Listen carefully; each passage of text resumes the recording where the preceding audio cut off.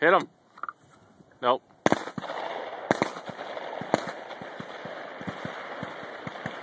Wow, I heard a lot of shooting.